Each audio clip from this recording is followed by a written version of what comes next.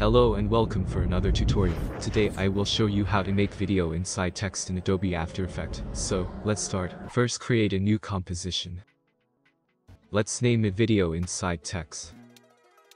Make the setting 1920 by 1080, 25 frame, click OK. Good. Now drag the video to the timeline.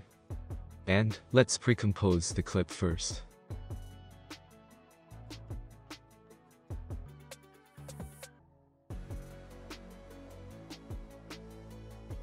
Create a new text or just click the text bottom.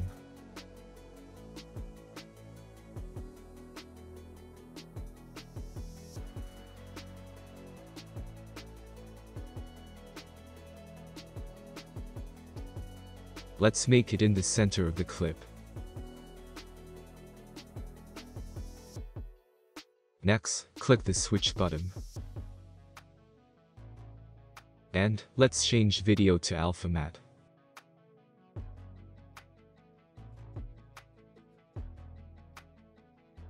Next, enable the text layer.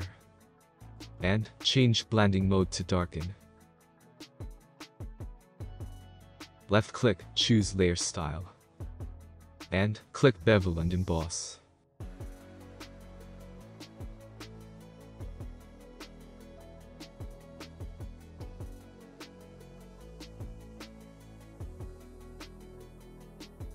It looks so cool, but we need to make it more cinematic. Click pan behind tool. Let's change anchor point to the center of X. Choose the text layer, and click S for the scale.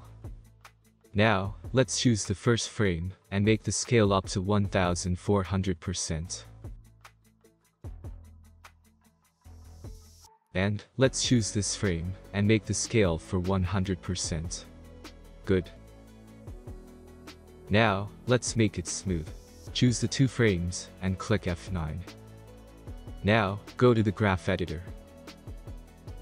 And, make it something like this.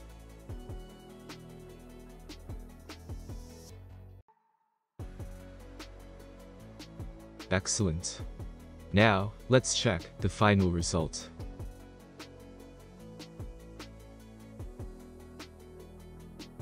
I hope enjoyed this video. Don't forget to subscribe, more cool tutorials coming soon, and see you in the next video.